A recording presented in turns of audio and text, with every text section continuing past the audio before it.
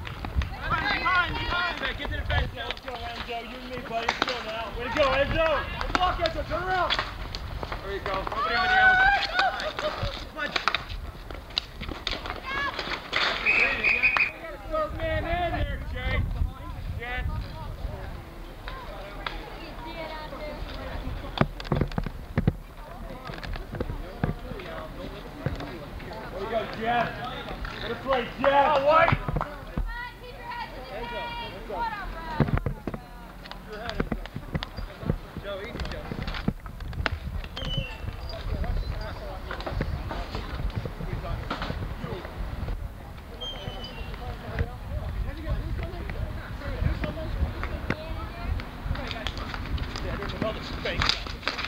That's it, that's it. There you go, Alex. Go on your back. Come on, Mike. Come on. That's it, that's it. Go, Edgar. Come on, Edgar. That's it, Edgar. What it is.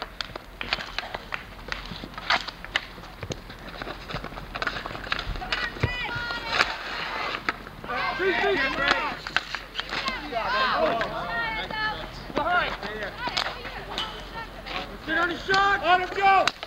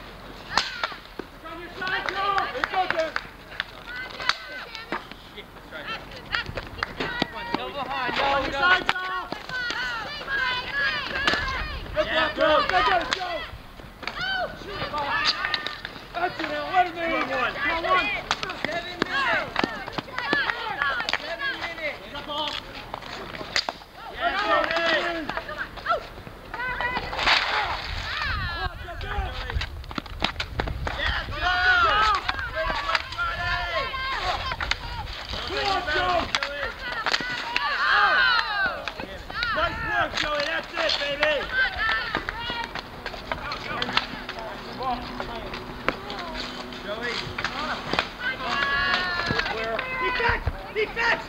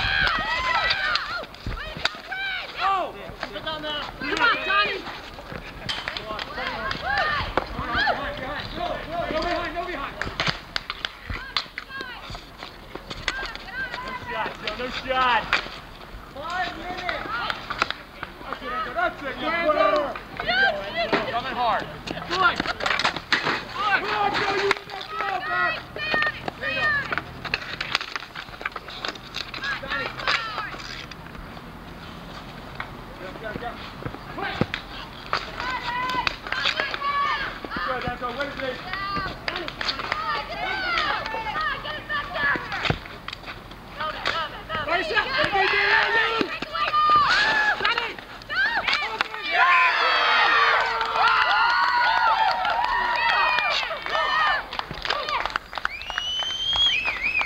get out, Lou.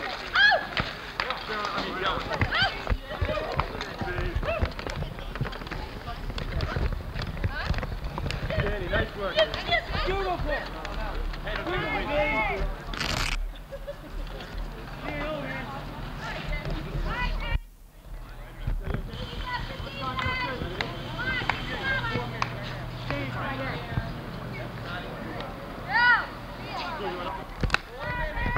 Four minutes, Rick.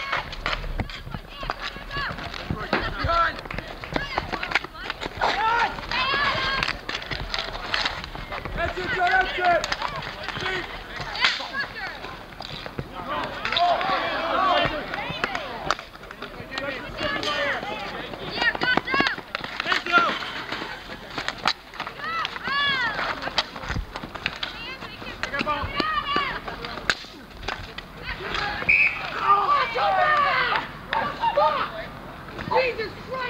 all of them, but uh, we'll be all right. We'll be here next year, coming back, and uh, How about the status of Mike Rodney and uh, Vinny again? It looks like you know Vinny not even to come out and stand by you guys right. seemed uh, very low in team spirit to me. So what do you well, what's your comments about Vinny, that? Vinny's played his last game on the Aqua Maulers, and so was Mike Rodney. But uh, they gave us some good years, but when we needed them the most, uh, you know, they didn't come through for us. So um, life goes on. Well, writing for the newspaper, I had picked the Aqua Maulers in three, and uh, Thanks. today I thought you guys would come out, you know, like the second that way, Jan. I, Uh, no, I didn't.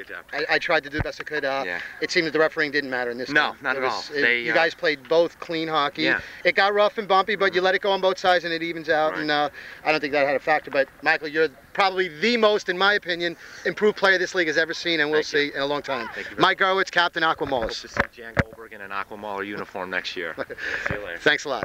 Thanks, Mike. Uh, talking with, in my estimation, one of the three best players in this hockey league, uh, Jamie Overmeyer, defenseman, standout for the uh, championship Red Scorpions. What do you think about today's uh, game? First of all, I have to disagree with you being the, being one of the three best. But uh, anyway, uh, not, my, not from these eyes. I'm real happy it happened this way. I was expecting you know a real tight game. I was hoping we'd win, but to win six to one is, is just an, an unbelievable surprise for us, and we're real happy it happened that way. Even though we, we lost one last week, it's real real good that it happened like this. A couple of comments on your goalie, Jeff Pine, who most said was wasn't up to the uh, test today, but he looked more than up to the test. He's had uh, his skeptics all season. Uh, even uh, you know all of us on the team have probably you know not not stood behind him like we should have, and he really did stand up to the test today. That last glove save that he made was a rocket. It was like the exclamation point in the game, and our defense I don't think could have played a better game today. How do you guys do it with three defensemen? Always, it was miraculous. Three guys stopping, blocking more shots than you know Al Arbour did when he was in his prime. How do you guys attest to three defensemen and, and winning it all? Um, I'm not really sure how it happened out there. I mean, we're exhausted. Poop and I are really exhausted out there, and Enzo played a super super game, and hopefully we can add a couple next year so we don't have to all get so tired. But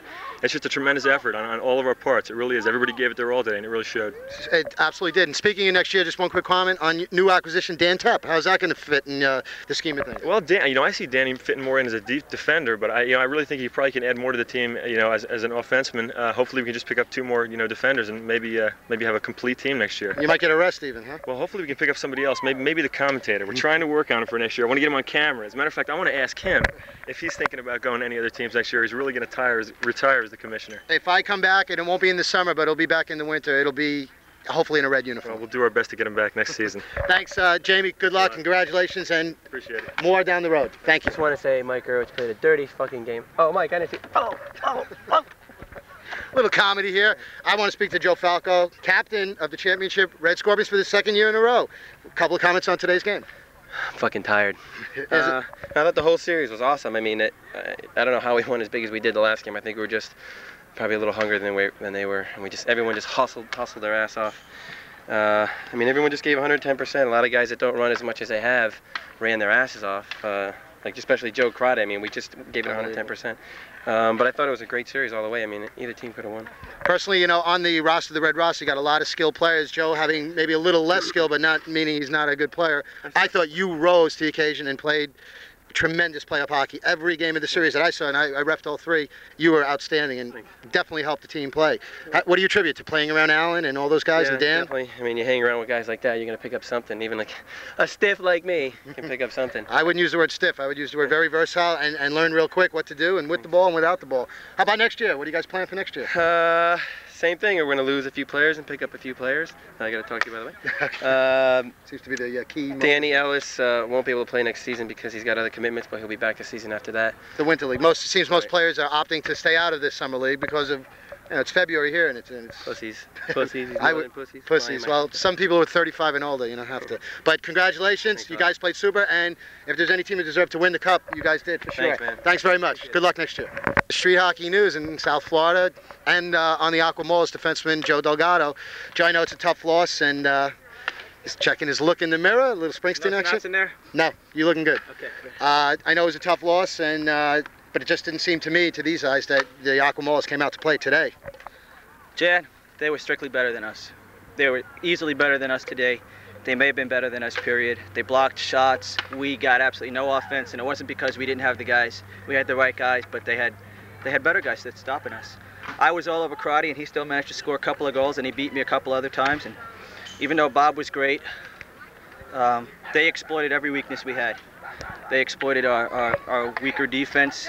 Bob uh, has a tendency to give up some long shots on occasion. Uh, they just they exploited us and we didn't exploit back. Speaking of that long shot, it seemed like that was the backbreaker to me. You know, you guys were hustling, came out in the third period, and uh, Lane takes that, which I think is one of the most dreaded plays in this league, a free shot from anywhere on the, on the uh, surface. But he beat Bob on a long shot, and you guys seem to lose a little spark from there. Well, you know, that's the goal that we go in. We shut them down in the second period as pretty much the only period that we have shut them out, shut them down in, in the whole series. They only had two goals in the second period before that in the two games. And uh, two, down 2 nothing, we can come back against anybody 2 nothing. but now you're talking 3 nothing against a great team like Red in the championship where it's very physical, it's hard to score goals. And that was, that was big. It was right after the period started. We were supposed to come out with a lot of fire, and that just, uh, that just turned the tables around. They had all the fire. What about the uh, play of uh, opposing goaltender Jeff Pine? Seemed to me he lived up to the test today. Second championship. Pine, Pine was, was strong throughout the whole championship, uh, which was uh, he was definitely a factor, but I don't think it was that strong. He wasn't tested that severely. He had he's, he made a couple of real good saves. He made an incredible save on Weiss uh, sometime during the third period. He made a decent save on me uh, sometime in the second period. Uh, I think he robbed Mike on another time, Mike Gurowitz. Um, but he didn't have that many he wasn't tested that strongly. He probably didn't even break that much of a sweat. There was, there's no doubt that they clearly outshot us in each and every single period. Knowing that, you know, the red team plays a little uh, less successful on the lose, you know, going down a couple of goals, how you guys didn't come out shooting at all. It seemed like you had trouble breaking out, while the red team had little trouble breaking out. Well, I, I tend to disagree with you there, Jan. Um, when, at least during the playoffs, when, when red gets a lead or, or even when they get, when they've given up a goal, they always they always stay tough. They never gave up two straight goals to us in the playoffs, and they probably didn't do it to Gold either. Maybe they did once, but they're the only team that managed to string together goals. We never did it. We never could uh, mount a serious rally with two or three or four unanswered goals. They they were they had a lot of heart. They never backed down at any time. Losing Mike Masasha, and we just heard uh, previously losing Vinny Procillo for next year. What's the Aqua Mauler's plans for next year? I don't know what the plans are right now. I think uh, I think we haven't really seriously considered it, but uh, my gut feeling is that uh, that this was our best chance for a little while at least. At, definitely at least for the next season, unless uh, can uh, pull some sort of magic uh, out of his hat and, and steal somebody. But there's so many teams right now that are dying for players. It's a recruiting war like this league has never seen. Gold is in desperate need of players. Falco says he's still looking around. Uh, Yellow's coming back, and they only had a couple of players to begin with, so they're looking. Uh, lots of phone calls are being made. The only team that really isn't looking for anybody is White. So there just aren't that many players to go around. I mean, what, what, can we do in this league to get more players to come out? What, what what's the answer here? I, I think a first, a first minor step would be opening up the playoff system. Uh, too many players come into this league and go and disappear. Lots of good players have played and just gone because they've played on bad teams that don't have a chance at anything, and they don't even have a chance at, at the playoffs. And and there's no reason to come out after you've been playing on a team that's been routed three or four weeks in a row. Last year, Yellow folded midway through the season. We've had a lot of teams that have come in with good talent. You know Mark Renner. That's correct. He was around. Maybe he, I mean, I know that he had to work and stuff, and I'm sure it wasn't because he was on a bad team, because he wasn't, but maybe he would have had more motivation to come back if he could have known that he could have easily jumped in on a good team. Right. So there, you know, South Florida is not a hot, is not a hotbed for talent. We got we got to conserve the talent that we have and then try and build up the interest that way. You see that coming into the final, we didn't really have anybody from the other teams out here, and I guarantee you that if we had all seven teams in the playoffs, we probably still would have had the right two teams in the championship. Plus, we would have had a big turnout. The interest would have been up. More friends would have told more friends. That's that's the only thing I could say. Well, let's speak one second about the All-Star game next week. What do you think of the chances of that coming off? It sounds pretty good. Uh, but I know Have I know. haven't gotten any rebuttal from the players yet? Are they showing? Are they not showing? Well, I, everybody that I talk to tells me they're coming. And I really think that we're going to have one, which is amazing to me. I, I've really plugged it in every issue. I've talked issue. to everybody. I, I handed out letters and invitations and stuff. I did my part, and I think it might actually come off. I tried to do this before, it didn't work. But uh, I think uh, the reaction, from the reaction that I'm getting from everybody else, we're going to have a real good all-star team. Just to let me know and other players involved in the All-Star game, the uh, Red Scorpions will be wearing their red shirts. But what are, what are the uh, All-Star teams going to be wearing this year? Um, well, I guess as the uh, spokesperson of the of the All-Star team, um, I would suggest that everybody wears their own jerseys. I think uh, I think that's definitely the way to go. Like Major League Baseball. Joe, thanks on a, a hard, a tough defeat. Good luck. I mean, uh, in the paper in the future, and a class player in the league, Joe Delgado. Okay, Thank you. thank you. We're standing with big major red uh, red fan here, Claudia. For I don't know you less. I'm sorry. From uh, Claudia Glass from the Red Scorpion uh, entourage. They say you have a pretty uh, good left hook there. Me? Um, well, I try. I mean, watching one game early, I saw her take a shot at one of the players in the league. And uh, you gonna ever get on a you get a stick and gloves and come out and do it yourself? Well, if they'd let me, maybe I'd try. I'm uh, trying know, to get a women's team. I know- thought I thought it'd be good to have um, the um, the women of white play the women of red. What about a co-ed league ever? You see anything oh, like that? well, it might be a little hard, but I think it'd be a good idea. My father always told me to go out with the goalie's daughter. She was easiest to score on. But you know, girls in hockey, I just don't know. Well, we'll keep we'll keep being nice and vocal from the sidelines. Thank you very much. Thank Bye. you. Go red. Aqua Mauler goaltender Bob Allenson. Bobby, a tough loss, and uh, you guys uh, came up against a real good hot team today. What do you think? Well, they were hot. They seemed to want it more. They beat us to most balls, and um, they're a good team. They got a lot of good shooters. They have uh, they play real good D, and they play us well. They match up well against us, and uh, we're very evenly matched. Today was their day. It seemed like they came out with a, a, a solid game plan, and Aqua was trying to find their game plan. What was their game plan? tonight? Well, we thought that if we could keep them from bringing the ball out of their zone, in other words, start them in the in our attacking zone, that we could create the turnovers and get the shots on goal. Didn't work out that way. They uh, they played it out of their own zone well. They created some two-on-ones uh, and uh, three-on-twos, and they got better opportunities. And uh, hey, next season's a couple weeks away. You put it behind you. Right, before we get to next season, uh, it's a, a question going around the league. Will you be here next week Sure. to represent the All-Star team? Oh, absolutely. I was honored to be on the All-Star team. Okay, We had heard previous reports saying that you know if you weren't on the championship team, you, you might not want to play. I How do you said feel that. now? I admit I said that, but I want to play. You want to play? As long as, are you going to be there? Sure. I'll be Who are we speaking to? Who's this? I, you know, This is no- Joey. This is Joe Crotty's sister, Joe. Oh, hi. How you Her doing? mother obviously didn't have much of imagination. I'll call this one Joe and this one Joe. It's like George Foreman Wha- here. what's her name? Joey. Joey. Joey and Joey Joe. Lynn. Joey you Lynn. have two brothers named Larry and Daryl and Daryl and all that too? Okay.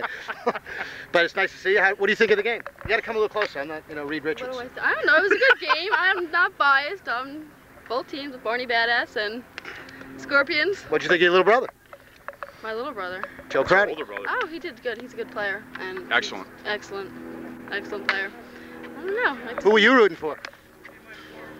I was rooting for the Scorpions, but I was rooting for Barney to play good. Okay, that's pretty tough, huh? Well, thanks a lot, guys. She's so Bobby, diplomatic. congratulations, Thank or, you. you know, Thank next you. year I know you'll do better. We'll be And back. nice to see you. Nice be back. see. Thank you. Thank you very much.